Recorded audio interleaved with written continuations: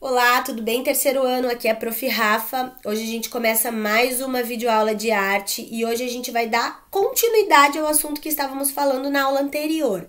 Nós estamos falando sobre os instrumentos de sopro e conhecemos o pixinguinha.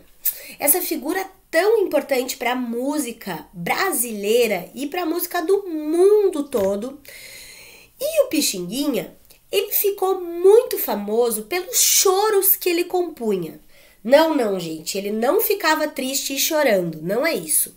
O choro, como a gente já viu lá na aula anterior, é um estilo musical, um gênero musical que começa a se desenvolver lá no século XIX.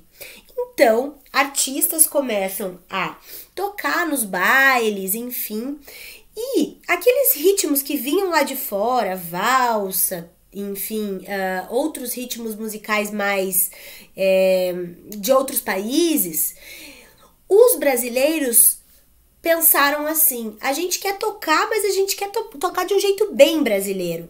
E aí nasce o choro, primeiramente composto pelo cavaquinho, pelo violão e pela flauta, e aí, depois disso, outros instrumentos foram se agregando a esse ritmo musical que começa então em rodas, aonde os músicos começam a tocar os instrumentos e ali uma pessoa começa a canta cantar de uma maneira improvisada, improvisando ali uma letra naquele momento.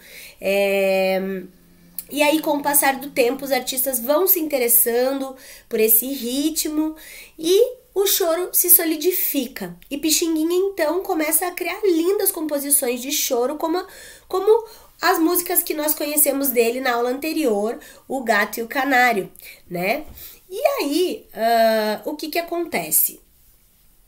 Esse artista, ele passa a ser uma figura muito importante é, para a nossa cultura de uma maneira geral, né? Quando a gente tem um artista que contribui de uma maneira é, tão rica, uh, tão importante para as outras gerações que vão vir, a gente está falando de um artista que contribui para a nossa cultura. Sabemos que a arte ela tem várias linguagens e a gente estava falando agora da linguagem da música, que é uma delas. E eu gostaria de fazer uma proposta para vocês hoje, que é a seguinte: eu vou pedir para vocês uma atividade avaliativa na qual vocês vão unir duas linguagens da arte. A gente vai ao mesmo tempo falar sobre música e a gente vai falar sobre artes visuais. Como que vai funcionar isso? Vocês vão criar uma representação da figura do Pixinguinha. Como isso, professora? A gente vai pegar uma obra, uma, uma fotografia como referência, né? Uma fotografia desse compositor, desse músico tão importante que é o Pixinguinha, e a gente vai criar uma representação artística a partir daquela imagem. Prof, eu vou ter que copiar? Você vai ter aquela imagem como uma referência. Você vai fazer a sua representação do Pixinguinha baseado naquela imagem que você vai ver, né? Porque a gente não conhece ele pessoalmente, a gente não sabia como, como eram as características dele, né? Então a gente vai usar essa imagem como referência. Muitos artistas, no decorrer de toda a história da arte, representaram figuras importantes é, de uma maneira geral para a sociedade em, sua, em seus trabalhos, né? Então a gente é, vai ver lá o Andy Warhol, por exemplo, lá na década de 60, representando figuras como Michael Jackson, uh, Marilyn Monroe, enfim, figuras conhecidas. E o Pixinguinha é uma figura muito importante que nós conhecemos esse bimestre, então eu quero que vocês é, façam um retrato desse artista, certo? Vocês vão utilizar aí uma folha no tamanho A4. Quem tiver uma folha com um pouco mais durinha pode utilizar. Quem, quem tiver somente a sulfite pode utilizar. O importante é vocês capricharem. Então, eu vou deixar uma imagem como referência.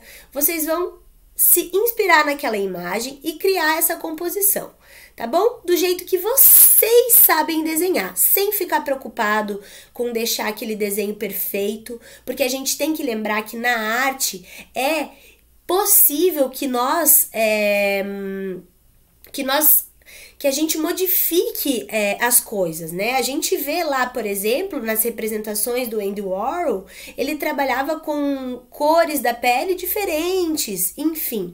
Vocês vão criar uma representação artística desse artista.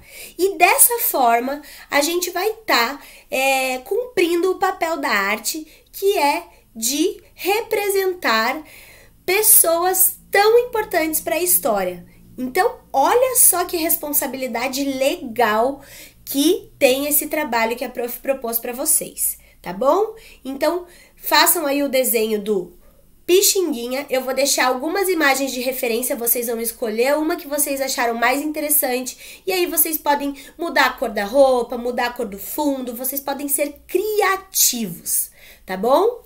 Um super beijo e eu fico aguardando esse trabalho lá no meu e-mail com nome de vocês, turma e a referência do trabalho, certo? Atividade Pixinguinha, certo? Um super abraço e tchau, tchau!